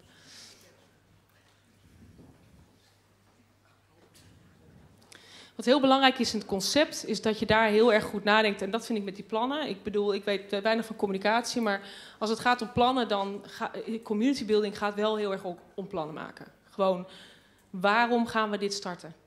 En voor wie gaan we dit starten? En eigenlijk gaat hier gewoon de meeste tijd in zitten. Eigenlijk moet je al hier drie maanden, kan je rustig voor uittrekken. Van voor wie doen we het nou eigenlijk? Ja, we gaan het doen. Zo kende ik een farmaceut en die wilde het gaan doen voor patiënten. En die zei, nou, we, hebben, we doen het voor uh, mensen met MS. Nou, dat zijn er maar 17.000 in Nederland. Dus het is dan logisch dat we al die patiënten gaan uitnodigen. Maar als je onderzoek gaat doen naar die patiënten, dan zijn er mensen die net de diagnose hebben gehoord en mensen die met al hele ernstige klachten. Die twee doelgroepen binnen die doelgroep hebben niks met elkaar. Dus dan moet je gaan kiezen, want anders wordt het nooit een community. Dus zorg ervoor dat je weet wat die gemeenschappelijke kenmerken zijn. Doe onderzoek. Dus ga online kijken, waar wordt er al gepraat over het onderwerp? Waar zijn er al communities die uit zichzelf zijn gestart? Wat is eventuele content die je kan gaan aanbieden? Zo vaak zie ik dat, uh, ja? Ja, dankjewel. Uh, nou, dat zeg je nou net eigenlijk. Ik kijk, ik uh, hoe heet het, uh, doe ook community building en beheer. En ik geef altijd de advies van, ja, waar zijn communities al op jouw vakgebied? Of waar, waar is jouw doelgroep? Waar hebben ze die al verzameld? Want je kan een heel mooi platform bedenken, een heel mooi plan. Maar dan is het gewoon eigenlijk nog mooier, als het ware, als je daartussenin mag meedoen, als het ware. En dan kan je heel veel tijd, geld en moeite besparen. Heb je voorbeelden van organisaties die het al zo doen? Ja, ik heb een heel, zelf een hele mooie. Ik werk voor het Wereld Natuurfonds. En het Wereld Natuurfonds uh, is een van de voorlopers, was een van de, is een van de voorlopers op het gebied van uh, communities. Um, toen Hives begon, was er iemand die, John Bravenvoer, die heeft dus zelf twee jaar lang een WNF-hive gehad met 10.000 volgers, heel actief. En uh, pas daarna werden ze wakker. En uh, toen zei ze eigenlijk, uh, nou, schoorvoetend naar hem toe gegaan en gevraagd van, mogen wij de community overnemen? En nou, hij was zo enthousiast, heeft het gelukkig vrijwillig overgedragen. En de Wereld Natuurfonds is daar heel goed voor de rest mee verder gegaan. Heeft nu een bereik van 90.000 leden. Dus enorm gegroeid natuurlijk. Maar nog steeds uh, zijn wij heel erg dankbaar voor zijn uh, effort. Die, uh, gewoon een, een, iemand die gewoon zelf heeft opgezet. En dus 10.000 volgers zelf heeft gekregen. Ja, de meest succesvolle communities worden meestal gestart gewoon door vrijwilligers. Coca-Cola is precies hetzelfde verhaal. Waarom is Coca-Cola zo groot op Facebook? Omdat er gewoon iemand was, helemaal in het begin, die heeft die pagina geclaimd. En die was gewoon Coca-Cola-fan. Die begon gewoon al leuke content te plaatsen. Tot Coca-Cola wakker werd en dacht van ja, laten we alsjeblieft uh, proberen samen te werken. Dat is wat ze doen. Ja. Gewoon doel en doelstelling bepalen. Ja, het is werkelijk een open deur. Maar je geeft ze de kosten mensen die een community starten. En dat ik vraag, oké, en wat wil je nou bereiken met de community? Ja, uh, mensen betrekken. Ja, en waarvoor dan? Ja, dat ze kennis kunnen delen. Ja, en wat gaat dat het bedrijf dan opleveren? En hoe ga je dat meten? Wordt vaak niet over nagedacht. Organisatie, een hele belangrijke. Renate had het net over de, jij noemde het de communicatie, wat zei je nou? Ik heb er een ander woord voor. Degene die, oh, de webredacteur noemde jij het volgens mij. Copywriter. De copywriter, ja. Ik uh, ga daar 100% in mee, inderdaad. Dat als het gaat om het creëren van content voor online communities, voor Facebook, voor Twitter. Als het gaat om de combinatie tussen tekst schrijven en beeld erbij en gewoon echt weten wat, precies, wat precies jouw doelgroep wil en dat te kunnen verwoorden, daar ligt er een hele grote toekomst. Ik ken alleen maar organisaties die daar nou op zoek zijn en de vraag is enorm. En ze zijn er amper. Dus je moet ze echt bij elkaar zien te halen. Mensen die of goed kunnen schrijven, of goed kunnen fotograferen, of handig zijn met filmpjes. Maar de combinatie wordt zo meteen echt uh, het vak van uh, de komende drie jaar zeker, denk ik. En techniek. Dus denk na over je techniek. Het is heel handig als je al een community hebt op een andere platform. Maar vaak moet je zelf de techniek eh, in handen eh, houden. Ik ben heel benieuwd wie van jullie heeft een, beheert een community op LinkedIn? Of een potentiële community? En is dat, is dat, zijn dat actieve communities? Ben, jij daar, ben je daar tevreden mee?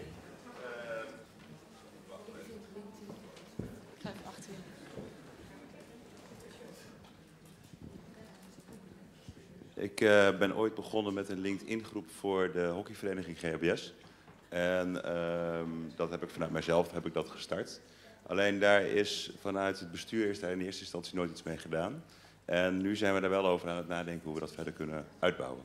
Dus ik denk dat het in potentie een hele goede community is.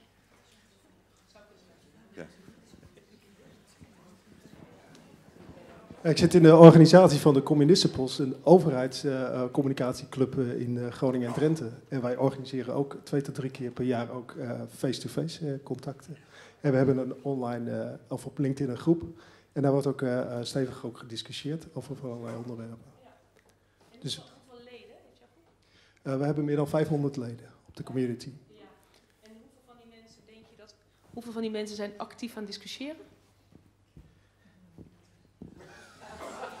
Uh, behouden ze de organisatie zelf? nee, ik denk, uh, ik denk dat, uh, ja, maar dat geldt voor, voor elke community, denk ik, of elke platform. Is dat er natuurlijk een, een, een 5% actieve leden echt deelnemen aan discussies. je natuurlijk een aantal mensen hebben die reageren op, op, op, op, vraagstellingen. En je hebt een heleboel lurkers natuurlijk. En die pas alleen bij hele extreme onderwerpen eigenlijk meedoen. Ja. Interessant deze. Ja. Ik, ben Dirk Eimers. Ik, wilde namelijk ook gelijk een vraag aan koppelen voor wat je daar hebt. En dat je inderdaad heel erg praat vanuit een bedrijf. Want je zegt ook, steek daar minimaal drie maanden in en dat soort zaken. Maar uh, meestal doe je dit soort dingen ook vanuit een bepaalde vrijwilligheid. Hè? Als je ook even kijkt naar deze club. Uh, voor zover ik weet wordt Jarno niet dik betaald voor het organiseren van dit soort bijeenkomsten. En daar zit ik dus ook mee. Ik ben zelf heel erg actief met interviewen. Ik probeer ook de website www.interviewer.nl te koppelen met al die accounts op nou ja, Twitter en dat soort zaken. Mijn probleem is inderdaad het, gewoon het, tijdgebrek inderdaad om die, om die schwung erin te krijgen. Ik ben niet ontevreden bij, bij die LinkedIn groep. Uh, wij hebben ook iets meer dan vijf, of ja, we hebben iets meer dan 500 leden. En ik, ik vind dat er regelmatig wordt, uh, wordt gereageerd. Mijn vraag dus aan jou is, als je het nou niet vanuit een bedrijf ziet, maar gewoon wat we erbij doen, hoe kun je dit soort dingen dan wel uh, aan de schwung krijgen? En hoe kan je dan, wat jij zegt, ben je tevreden? Waar, ligt dat criterium? Nou, als je in je eentje bent, dan. Uh, zo was ik ook in mijn eentje toen ik een LinkedIn-groep startte voor community managers. En ik geloof heel erg, en dat, is al, dat vind ik sowieso met social media, dat is langer termijn. Dus je moet beginnen gewoon met een kleine groep. Drie, vier mensen. En die drie, vier mensen moeten eigenlijk meteen het communitygevoel delen met jou. Dus je moet daar draagvlak creëren. Commitment krijgen. Um, dus uh, ja, ik was laatst uh, in een training van mij, was iemand van Microsoft. En die was heel trots, want die had een LinkedIn-groep met 800 mensen. Maar er gebeurde niks. Dus zei ik, eigenlijk krijg je die mensen niet meer geactiveerd. Want je moet gewoon van vooraf aan beginnen. Uh, en, en de communities die actief zijn, die beginnen met drie mensen, vijf mensen. Gestage groeien, altijd. Maar niet heel veel tegelijkertijd. Dus je kan het, met, in je eentje kan je het heel goed doen. Uh, natuurlijk moet je daar investeren, maar met een aantal uur per week kom je er wel. Alleen de grote truc is om het meteen te beleggen bij ook andere mensen. Um, want als je zelf het, dat is gewoon de community manager, als de community manager zeg maar de, de, de, de, de sleutelfiguur is en dat blijft, dan zal zodra die community manager op vakantie gaat, of ziek wordt, of geen zin meer hebt, ja, dan valt die community in elkaar. En wat betekent dat? Dat het geen community was. Dus dat is uh, mijn uh, advies. Heel vaak krijg ik, waarom zouden mensen in mijn community participeren? Dit zijn een aantal van die dingen waarom mensen participeren. Belangrijk om dat ook in je achterhoofd te houden. Waarom komen die mensen bij de LinkedIn-groep? Is dat omdat ze het leuk vinden? Is het omdat ze kennis kunnen halen? Zelfexpressie, sociale status. En speel erop in. Nou, hier een klein lijstje voordat je van start gaat. Dat is echt... Uh, wat wil je bereiken? Dus als je een LinkedIn groep start of je start een, een Facebook pagina, wat wil je ermee bereiken? En even de laatste, is er een content- en community management strategie opgesteld? En dan vooral de content. Want ik hoorde net een meisje die zei, uh, jij was dat volgens mij, jij zei ik werk met een drie maanden plan. Uh, en dat evalueer ik elke drie maanden, zei je volgens mij zoiets? Ja. Ja, nou, dat deed mij heel erg denken aan een content kalender. Want echt, ja, en, en toen Renate zei van ja, werkt iemand anders dan met een communicatieplan? Toen dacht ik ja, wat je nu heel veel hoort is contentkalenders. Contentkalenders waar verschillende afdelingen hun evenementen inplotten. En waar je dus probeert een rode lijn te krijgen op die social media om reactief en proactief met die doelgroep constant in contact te zijn. Dat je niet krijgt als vroeger piek, niks, niks, niks, niks, niks, piek, niks, niks, niks, maar dat je gewoon constant bezig bent met die doelgroep op verschillende vlakken vanuit verschillende afdelingen.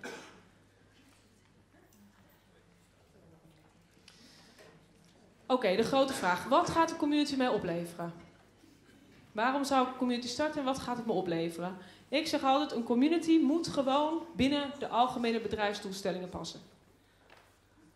Dat kan zijn branding, hogere klanttevredenheid, uh, klantretentie, kostenreductie, hogere omzet, leadgeneratie. Een community moet hier gewoon aan kunnen bijdragen. Dus iedereen die zegt, ja, maar je kan toch niet uh, over sales gaan praten in een community? Nee, dat klopt. Je kan niet over sales gaan praten in een community. Want dat is voor mensen niet interessant. Maar in de long run zal dit het wel moeten gaan opleveren. Iets van deze dingen. Anders gaat hoger management sooner or later de stekker eruit trekken. Het moet iets opleveren, anders gaat het gewoon niet door. Zo was het ook bij ehm, de ANWB. Die hadden een prachtige community, al in 2005 geloof ik. Ging als een tierenlier, honderdduizenden leden.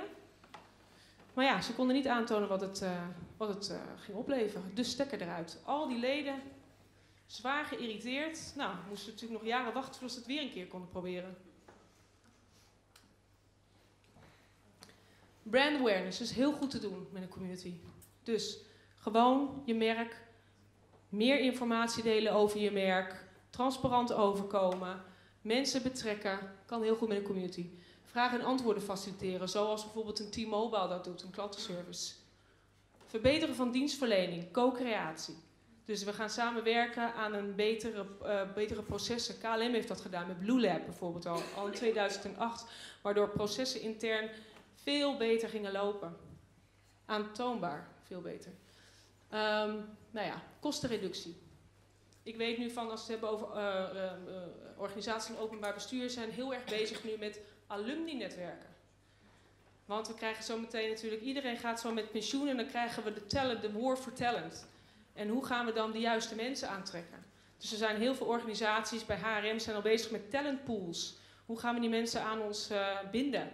En wat kunnen we ze in godsnaam gaan bieden dat ze aan ons gebonden blijven? Vooral jongere mensen. Maar ja, hoe fijn zou het zijn als jij een vacature hebt en die kan je uitzetten in je community die je hebt geactiveerd. En je hebt binnen drie, vier dagen werkt die community voor zichzelf. Niet alleen binnen de community, maar ook binnen het netwerk van al die mensen in die community. En dat je dus een perfect passende kandidaat hebt. Die voor langere termijn blijft bij je organisatie en wat bijna niks kost. Maar ook marketing. Er zijn communities nu die worden gebouwd alleen maar zodat andere organisaties die communities kunnen gebruiken om daar advertisement uh, te doen. Zoals uh, Go Supermodel. Kent iemand Go Supermodel? Hè? Juist, ja, ja? Oh. Oh, je, oh, ja? Ben ik wel heel benieuwd. En Go Supermodel is voor doelgroep 13 jaar, geloof ik. Klopt, wij werken beide bij Akare en wij hebben een, um, een website 99gram.nl. Dat is een preventieve website voor meiden met een eetstoornis. En die werken samen met Go Supermodel. Vandaar dat wij uh, dat kennen. Ja, Go Supermodel is gewoon het concept the other way around. Dus we gaan eerst een, de doelgroep bij elkaar brengen en daarna gaan we organisaties vragen om samen te werken met die doelgroep en uh, dingen te verkopen. You Know Me, een van de grootste vrouwencommunities van Nederland en, en België. Dit gaat echt over branding. Dit is van Unilever. Je ziet er bijna nergens staan. Hè? Ik, vind, ik vind het een heel leuk dat je deze als voorbeeld uh, geeft. Want toen, toen ze dus een paar jaar geleden begonnen, toen dacht ik echt, dit gaat nooit, nooit werken. Want als een bedrijf als Unilever met hun naam een, een platform, een, een community platform gaat bouwen. Nou, dat is, dat is in het verleden gewoon aangetoond dat dat werkt gewoon niet. Dus dat het nu het grootste is, dat, dat is echt knap gedaan. Echt, uh, echt mooi, mooi voorbeeld. Ja, wat ze heel goed hebben gedaan, ze zijn begonnen heel klein met een groepje vrouwen die heel actief waren op de website van Live and Cooking. En Live and Cooking, die website ging toen uit de lucht. Dus die vrouwen hadden nergens om naartoe te gaan. En toen zei Unilever, jullie kunnen bij ons doorgaan waar je, waar je wil. Plus, waarom dit ook zo actief is, je kan hier elke week kan je hier gratis producten thuis gestuurd krijgen. Ik zie er nog iemand knikken. Doe jij mee? Of, uh... Ja. Dus die vrouwen, het zijn voornamelijk vrouwen, het kunnen ook misschien mannen zijn die inloggen met uh, de naam van een vrouw, dat weet je natuurlijk nooit. Maar die vrouwen krijgen allemaal die gratis uh, producten. En wat doen ze vervolgens? Ze proberen het, ze eten het, ze koken het. Ja, en dan laten ze een positieve reactie achter op dit platform. Oh, zo leuk. Ik heb van You de laatste deodorant van Nivea, van gekregen. En wat een heerlijke deodorant. Dus ja, als je het hebt over positive branding, is You echt fantastisch. T-Mobile Forum, zeer uh, succesvol. Het hele Joep van het Hek-schandaal heeft hun alleen maar goed gedaan. Want daardoor zijn ze alleen maar meer in de bekendheid gekomen en hebben ze alleen nog maar meer hun dienstverlening kunnen verbeteren.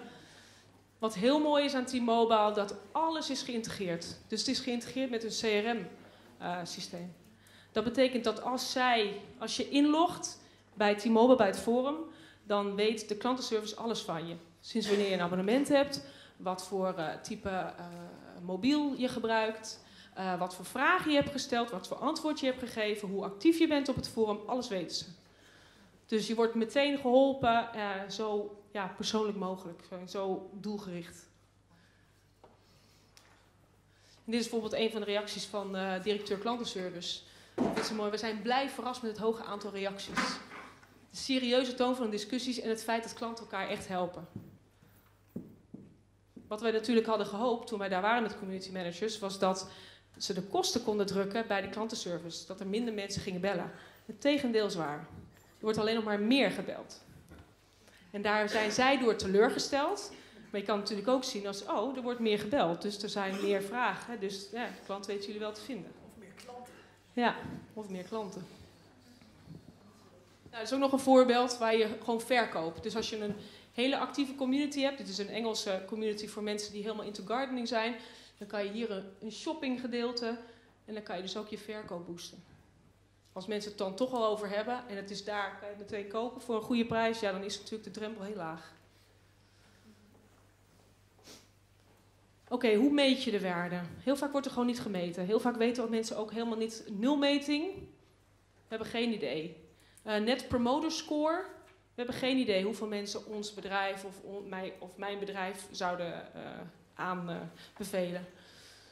Wat heel belangrijk is, is voordat je dit soort kosten en, en uh, baten kunt gaan meten, moet je eerst weten hoe actief is je community. Dus, dat is wat ik net zei. Ja, je gaat uiteindelijk moet het wat opleveren. Maar eerst moet je die community actief zien te krijgen. Als die community niet actief is, als er geen mensen komen, als er geen mensen discussies aan gaan, als er geen content is, als er op de bijeenkomsten geen hond komt, dan ga je dit nooit voor elkaar krijgen. Dus een organisatie moet altijd begrijpen dat er hier een doorlooptijd zit, gewoon van, echt wel van twee jaar. Minstens. Zodat je dit voor elkaar hebt.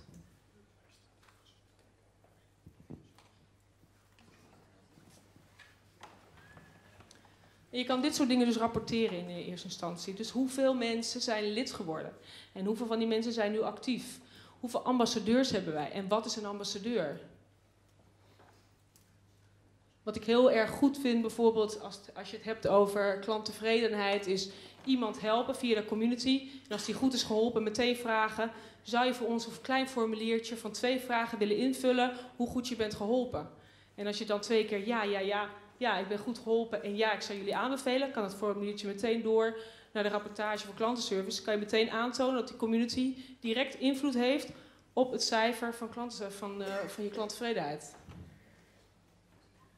Nou, ik ga hier even doorheen, want uh, moderatie.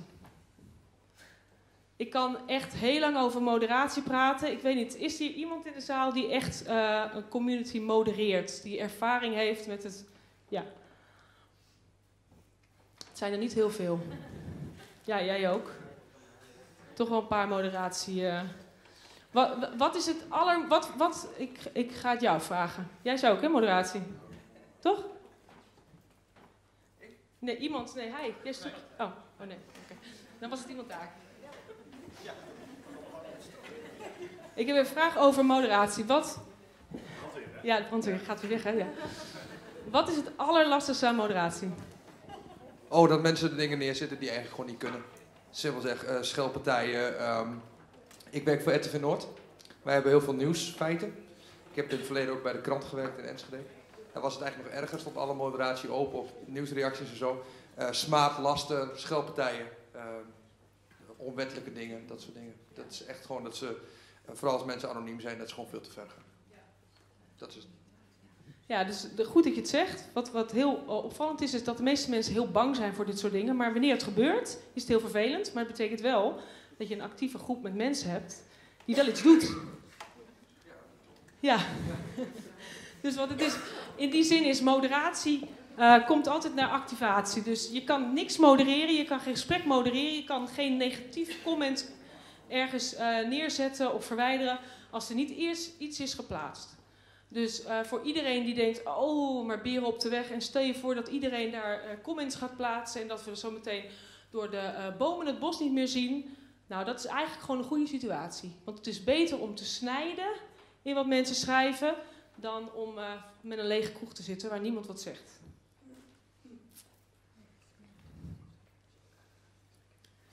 Elke succesvolle community heeft drie dingen die heel belangrijk zijn. Dat is stabiele groei. Laat je nooit verleiden als je nog uh, uh, geld over hebt. want ik heb ze gezien, die organisaties, om even heel snel een campagne te doen met banners om zoveel mogelijk leden naar je community te krijgen. In korte tijd. Laat je daar nooit toe verleiden.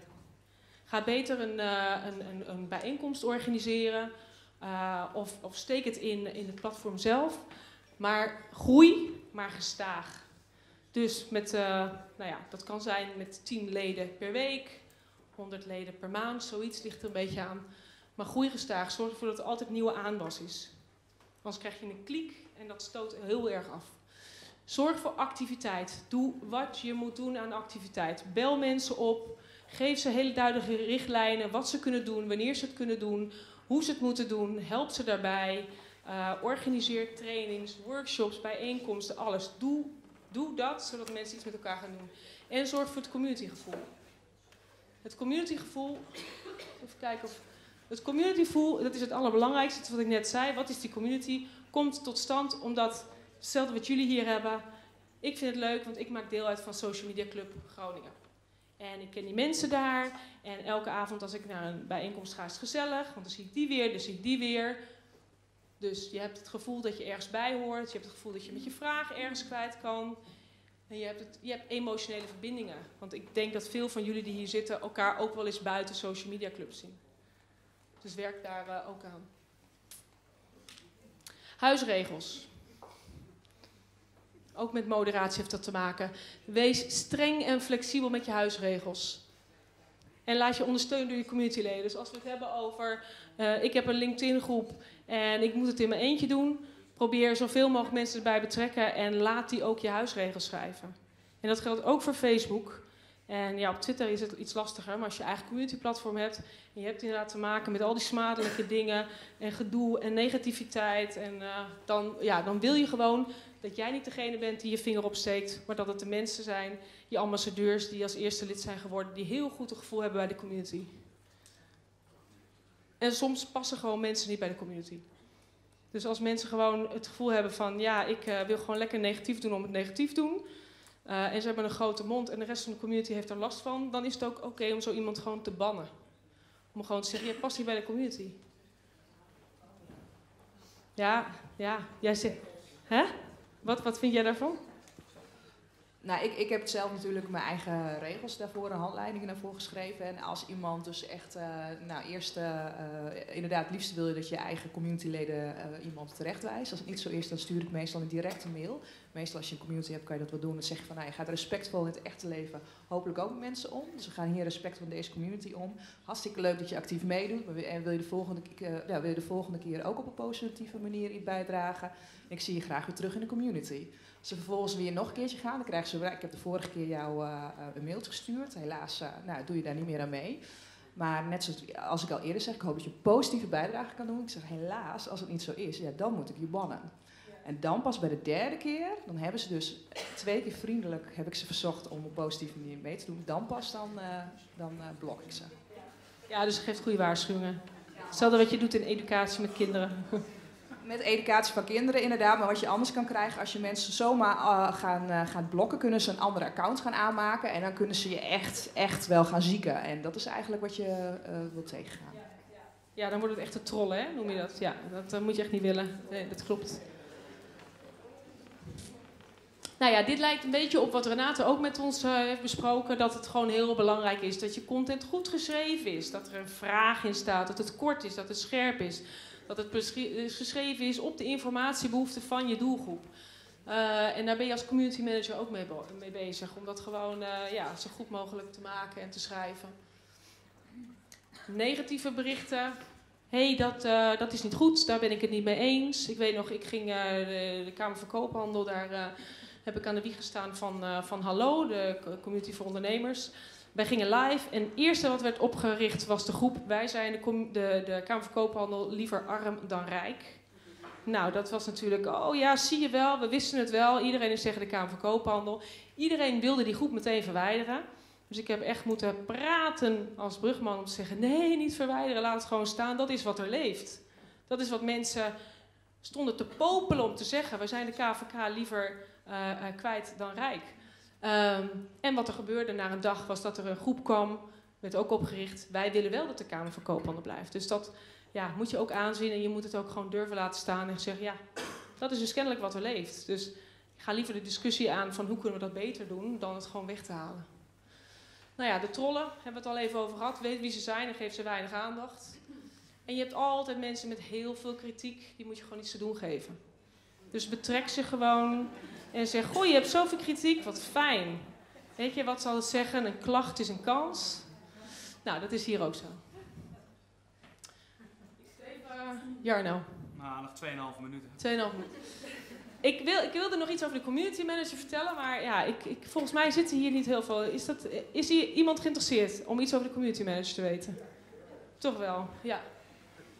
Nou, community manager is gewoon toch nog het schaap met de vijf poten. Want in de community manager zoeken we een marketeer, een, uh, een communicatieprofessional. We zoeken eigenlijk ook iemand die goede klantenservice uh, daarvan af weet. We zoeken ook echt een lobbyist hoor. Iemand die het interne goed kan verwoorden en goed kan verkopen. We zoeken ook wel een netwerker. Ja, we zoeken, maar je moet het wel in je eentje doen hoor. Oh, je moet ook nog de interne organisatie zien te betrekken. En je moet ook goed presentaties kunnen geven. Oh, en die techniek, kan je dat ook even regelen? Dus ja, um, laat je daartoe niet verleiden. Want het is onmogelijk. Wat je wel doet is enthousiasmeren van medewerkers, aantrekken en behouden van nieuwe leden. Dus je bent heel erg bezig aan de ene kant met de community. En aan de andere kant ben je bezig met de organisatie. Die heel veel moeite heeft met de community. En wat moeten we daar nou mee? En hoeveel waarde gaat het opleveren? En het aanleveren van content, et cetera, et cetera. Wat we hebben gedaan met de Community Managers Nederland vakvereniging is we zijn gestart met een beroepsprofiel omdat heel veel organisaties zeggen, ja, wat hebben we nu nodig? Hebben we nu een webcare agent nodig? Of een content manager? Of een social media manager? Of een community manager? Of is het toch een conversation manager? Dus niemand weet meer wie nou wat doet en wat ze nodig hebben en hoeveel die nou moet verdienen en in godsnaam. En als die dan aan is genomen, hoe moet die dan zich ontwikkelen verder? En wie moet dat begeleiden? En hoe kunnen we die persoon houden en dat het toch nog leuk wordt? Dus wij hebben gewoon, en die wordt binnenkort gepubliceerd, gewoon een, uh, een uh, uh, een model gemaakt, gebaseerd op gewoon, die zijn vrij bekend, analyseren, adviseren, creëren. En dan op operationeel, tactisch en strategisch niveau, met daarin gewoon ingevuld alle werkzaamheden die daaronder vallen. Zodat je als organisatie heel goed kan zeggen, oké, nou we hebben, als het gaat om creëren op strategisch niveau, hebben we hier iemand voor nodig, hebben daar iemand voor nodig, daar iemand voor nodig. Nou, dat betekent dus dat we over het algemeen een medior nodig heeft, die dit snapt, die dit ook kan, strategisch, dan kunnen we hem daarin begeleiden. Dan kan hij daar naartoe groeien. Of we zetten er iemand naast die vooral strategisch uh, dat kan doen. En dat deze persoon het operationeel en tactisch doet. Want er zijn zoveel taken die een community manager kan doen. Dat is echt, uh, ja, het overzicht uh, raak je makkelijk kwijt. Nou ja, dit is ook wat een community manager heel erg doet. Die werkt heel erg in de cirkel. Dus het is strategie, plan hè, gewoon plan. Strategie, content, activatie, moderatie en weer rapporteren. Maandelijks rapporteren. Dus ja, dat klopt. Oh, die strategie klopt wel geen meter. Aanpassen. Hup, nieuw. Andere content. Activeren, modereren, rapporteren. Oh, dit is beter. Aanscherpen. Dus je bent constant aanscherpen, aan het meebewegen. Dat is ook heel erg wat Renate zei. Even kijken. Samenvattend, belangrijkste. Bepaal een doel. En bepaal KPI's. Ik weet dat het moeilijk is, maar probeer zo smart mogelijk te zijn. Probeer het echt, ook al zijn het er drie, maar probeer het voor jezelf concreet te maken. Anders ben je een, een jaar bezig met allerlei ad hoc werkzaamheden. En weet je daar nog, daarna nog steeds niet wat je nou hebt gedaan. Kirsten, kan je vertellen wat KPI betekent? Een uh, uh, uh, performance indicator. Um, key, performance. key performance indicator. Ja, kan je daar wat mee? Oké, okay, dat betekent, dat betekent, voorbeeld. Ik wil uh, mensen betrekken om gezamenlijk uh, huisregels op te zetten. Dat is een doel. Ik ga een, de komende twee maanden ga ik één persoon zover krijgen dat hij vrijwillig met mij twee uur per week gaat besteden om die huisregels te ontwikkelen. Dat is je Key Performance Indicator. Dus heel duidelijk hoeveel en in hoeveel tijd met een milestone. Echt op zo'n klein niveau. Want anders dan heb je geen idee waar je naartoe werkt.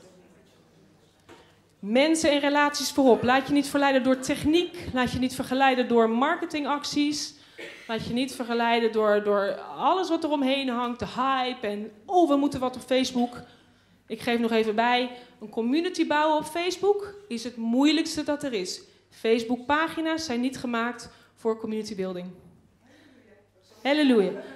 Zelfs Facebook noemt de managers van de pagina's page managers. Ze noemen ze geen community managers. Dus wil je Facebook gebruiken om een community te starten? Gebruik dan de groepen. De besloten groepen. Daar is wel mogelijkheid toe om dat ja, te activeren. De pagina's is om te zenden. Ook prima. Prima. Dat is meer social media management en niet per se community management. Maak een contentplan en zorg dat die zeker drie maanden van tevoren doorloopt. En doe dat zeker niet in je eentje. Zorg dat iedereen, nou ja, iedereen, veel mensen in de organisatie daarbij betrokken zijn. Mensen van communicatie, mensen van sales, mensen van marketing. Iedereen moet daarin zijn steentje bij, uh, bijdragen. Community is van de leden. Is niet van de organisatie. Leden moeten het gevoel hebben dat ze eigenaar zijn van de community. Dat is de enige manier waarop ze zich verantwoordelijk voelen, waarop ze commitment uh, gaan voelen, waarop ze content gaan produceren, waarop ze gaan zeggen: dit is niet oké, dit willen we niet, waarop ze je gaan helpen met de huisregels. Dus laat het los. Heel moeilijk. Beloongewenst gedrag. Dus als je iemand iets ziet doen wat je heel goed vindt in de community, en dat past bij de normen en waarden van de community, zet het in de nieuwsbrief, zet het in het zonnetje, maak er een voorbeeld van. Manage de verwachtingen. Dus als je gaat co-creëren, zoals Renate zei, en je gaat vragen aan mensen: ja, leuk, denk mee. Geef dan meteen mee wat je kan doen met al die ideeën en al die input. Als je er weinig mee kan, dat kan, maar dan moet je dat aangeven. Combineer online met offline. En beleg verantwoordelijkheden. Dus weet wie gaat het nou doen, wie gaat de content maken, wie gaat de, uh, de, de, de, de gesprekken modereren, wie gaat de presentaties geven, wie gaat de, de rapportages draaien. Zorg dat je dat allemaal geregeld hebt voordat je gaat beginnen. Want voor je het weet is er één persoon verantwoordelijk voor alles. En die rent zich drie keer in de ronde en ja, vraagt zich dan af waarom het geen succes wordt. En dat was hem.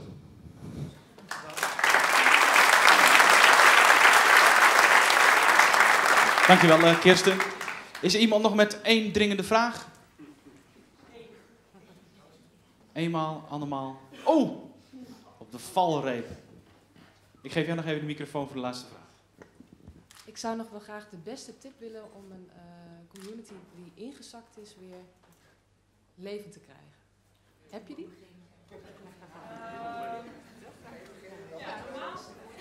Normaal, zeg ik echt heel hard, uh, waarschijnlijk schone lei beginnen. Dat is het makkelijkste. Dat is het makkelijkste, snelste. Maar het kan zijn, het ligt eraan, ik weet niet om wat voor community het gaat, ik weet niet hoezeer het is ingezakt. Wat je in ieder geval moet, is terug naar de tekentafel. Dus kijk naar je concept. Dus als het ingezakt is, dan zijn mensen niet meer geïnteresseerd, worden hun behoeftes niet bevredigd. Dus dan ja, kunnen ze niks met die relatie. Dan ja, hebben ze, is het gewoon niet, what's in it for me? Die vraag is niet goed genoeg beantwoord. Uh, dus je kan hem soms tweaken. Hè? Dus door uh, toch wel meer de juiste mensen uit te nodigen. Uh, soms is het gewoon omdat de techniek niet goed is. Dan moet je dat laagdrempeliger maken. Dat kan op een inlog kan het hangen. Dus daar moet je naar kijken. Als dat na drie maanden niet de gewenste resultaat oplevert, ja, dan moet je het concept veranderen. En dat is niet erg, alleen mensen hebben heel veel moeite met zeggen, we hadden het fout. Ja. Oké, dankjewel. Nogmaals even applaus voor Kirsten, mensen. Goed, ik heb even mijn lijstje, anders vergeet ik dingen. Allereerst natuurlijk de sprekers uh, bedankt, Renate Verloop. Ik wou Renate Verbaan zeggen, maar dat is natuurlijk, uh, kan niet. Smart Camels. En wat kregen we veel complimenten over de videostream van uh, vanavond. Waarvoor uh, dank. Uh, Noël Wap. waar is Ralf eigenlijk? Ah, Ralf. Daar zit hij. Onze appbouwer. Hampshire Plaza. Ook dank jongens. Echt mooie locatie. Straks gaan we aan de borrel. 27 mei is de volgende editie. Eh, zet het in je agenda over social business. Twee weken daarvoor gaat de inschrijving open. Zorg dan ook dat je klaar zit. En mij niet boos gaan mailen van, ja, ik was even aan het lunchen en nu is het alweer vol. Goed. Ehm, straks bij de borrel, hè. Borrel wordt mede mogelijk gemaakt, bureau Goede Grond. Uh, Radius in, uh, uit Groningen. Wij gaan zorgen dat we de slides krijgen. Ik kijk ook naar Kirsten. Ja, oké. Dus de slides komen online. We zorgen dat de video online komt te staan. Dus dan kun je het nakijken, kun je het nalezen. Wij zorgen voor zoveel mogelijk relevante informatie nadien. Um, heb je feedback, uh, laat het achter. We hebben daar straks de bak voor de waardebepaling achteraf. Die zal ik er even bij pakken. We nodigen jullie uit te blijven borrelen tot 10 uur. Waardebepaling achteraf. En um, ik heb toch even gekeken naar iWink. Die moet misschien voor een paar keer noemen van iWink. Toch maar even wat extra's in de bak doen van de waardebepaling achteraf. Oké, mensen, wel thuis en tot de volgende keer. Applaus voor jezelf.